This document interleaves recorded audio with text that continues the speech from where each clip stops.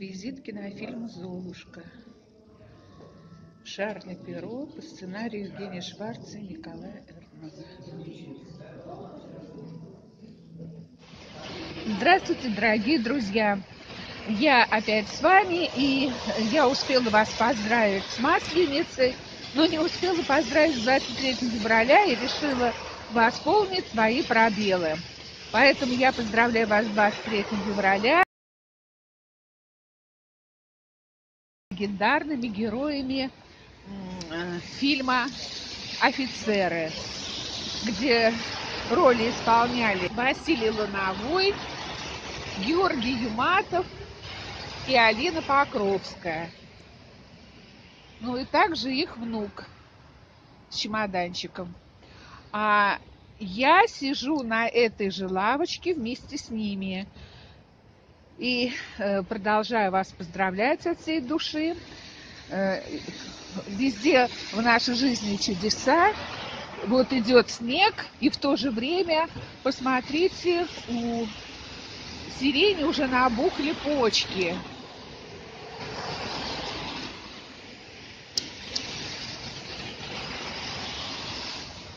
Посмотрите, как это здорово сказка, сказки место в нашей жизни. Мы все родом или они подавали нам надежду, что обязательно все изменится, и если вам сейчас плохо, то дальше может быть все хорошо.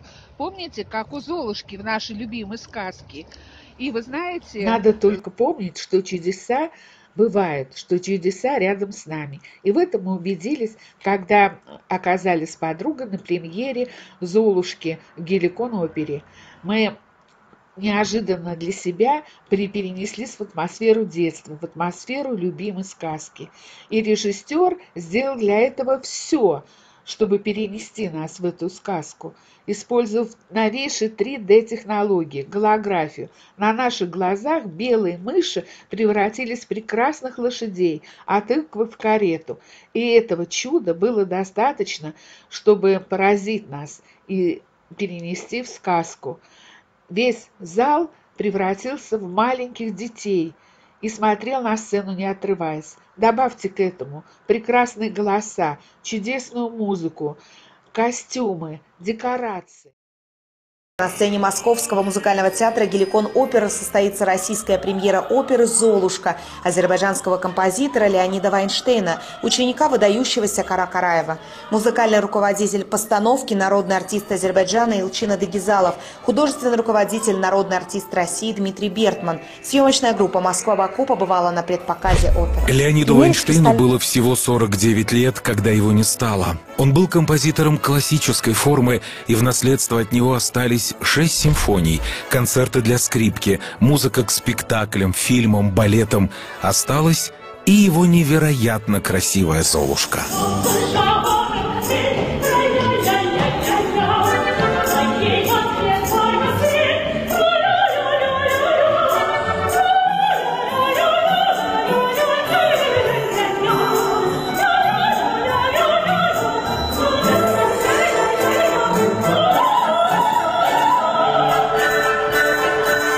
Эти две принцессы, Мариам и Айла, вместе с мамой, выдающейся гимнасткой Яной Батыршиной, и папой, продюсером Тимуром Вайнштейном, пришли на премьеру «Золушки» в гости к дедушке, которого никогда не видели. Но он подарил им эту музыкальную сказку, которая навсегда останется в сердцах.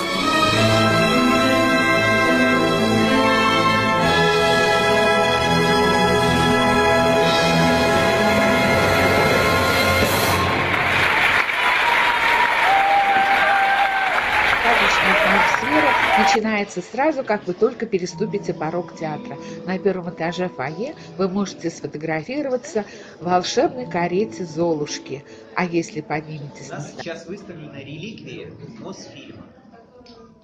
Это единственный сохранившийся реквизит от фильма 47 года с Яниной Жеймо, который да, который мы все любим. Его начали снимать еще в войну, в 44 году, и выпустили только в 47 это были тяжелейшие съемки, актеры находились в очень тяжелом состоянии, и все ждали, наконец, вот эту фантастическую сказку, которую снимут. И до сих пор она так воспринимается. Да. Красивейший фильм. И, к сожалению, к великому, от него осталось очень мало. Одно истлевшее платье и вот эти три вещи. Но они невероятно значимы. Самое главное из них, конечно, туфелька. Туфелька, которую просто хранит Ленфильм как настоящее сокровище, как зеницу ока, потому что это единственная из всех хрустальных туфелек, которые были сделаны для этого фильма. Потому что какие-то были сделаны для ношения, какие-то были сделаны, вот как это, для того, чтобы просто ее демонстрировать в кадре, потому что это невероятно маленькая туфелька. Это 30 кто может оценить глазами? Второй, второй. 31. Да, право. И костюм Марио Дель Монако у нас тоже теперь стал частью выставки, который здесь всегда выставлен в этом зале. И платье образцовое теперь тоже воспринимается как часть этой выставки, потому что вы там зайдете в следующий зал, поймете почему. Вот. А вообще зеркало. И вот теперь эти вещи с одной стороны украшают наш парадный зал, а с другой стороны подсвечники служат реквизитом. В аттракте можно было полюбоваться фойе сказочными картинами Татьяны Шахиреевой или послушать историю театра, рассказанную директором музея Геликон оперы.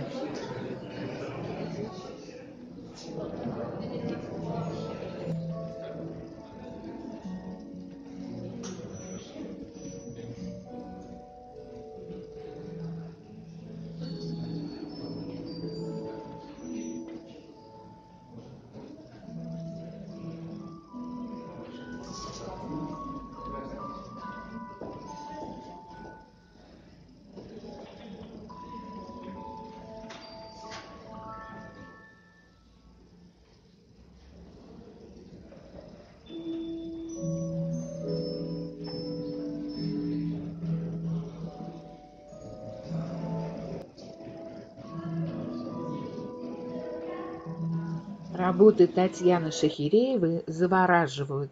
Здесь представлены и картины, и деревянная скульптура, фигурки сказочных бояр, королевишин и королевичей, да и рамы у картин уникальны, резные, с фигурками шутов, прекрасных дам на балконах. Здесь же его можно увидеть и башни заточенными в них красавицами, и деревья с наливными яблочками и диковинными птицами.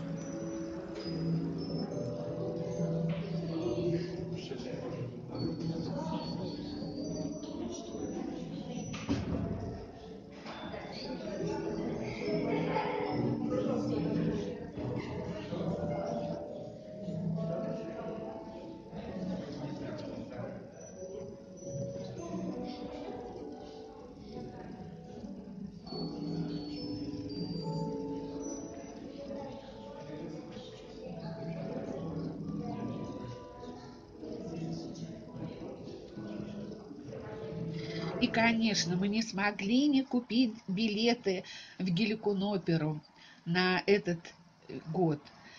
Ну, какие-то билеты у нас были. Вот у меня, видите, я иду сегодня на хор Данилова монастыря э, в Дом музыки на Павелецкой. Это мне подарил мой сын, этот билет. А вот это все Геликон опера. И вы видите, что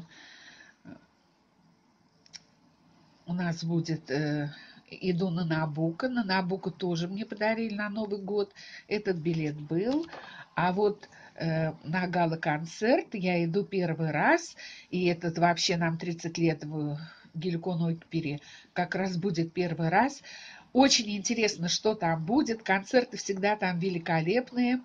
И э, если вот вы видите, то начало здесь этого концерта в 22.30. То есть мы, только он начнется в 22.30, как поздно мы приедем. Но вот приедем. И следующий билет у меня на Фальстафа.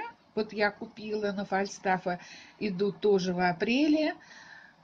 Ну, жду не дождусь этой вещи, очень люблю.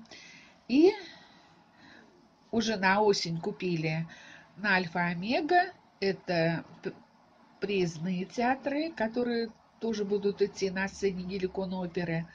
И вы представляете, я уже заранее купила билет на рождественский бал, который будет аж 25 декабря 2020 года. И мы всегда ходили э, перед Новым годом на э, оперу «Летучая мышь», но в этом году я решила пойти посмотреть рождественский бал, потому что очень много о нем слышала, смотрела, вам тоже покажу, что там будет. И вот католическое Рождество я буду отмечать, э, мы будем отмечать там. И еще хотела вам сказать, что вообще многие из вас, я, видно, заразила очень многих геликон оперы. Мне девочки писали, очень многие были там, даже заранее заказывали билеты, приезжали ну, достаточно издалеко, не только из Москвы. Девочки, всем вам большой привет. Очень рада, что вы ходите. Все получили массу удовольствия. Я очень довольна, что, ну вот, благодаря мне э, что-то такое вот в вашей жизни случилось. Потому что я считаю, это просто праздник. Ну, а сейчас мы посмотрим кусочки из прошлого рождественского бала. И вас приглашаю.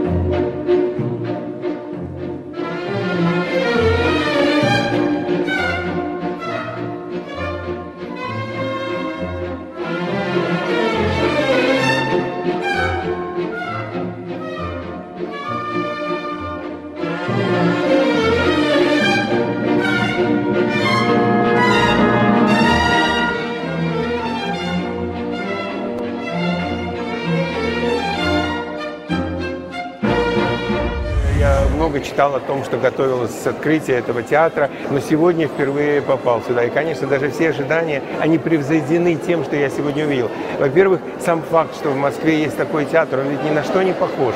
И ведь на вот этот зрительный зал, количество 500 мест, это именно то, что нужно сегодня для оперы. Это и небольшой театр, и не маленький камерный театр.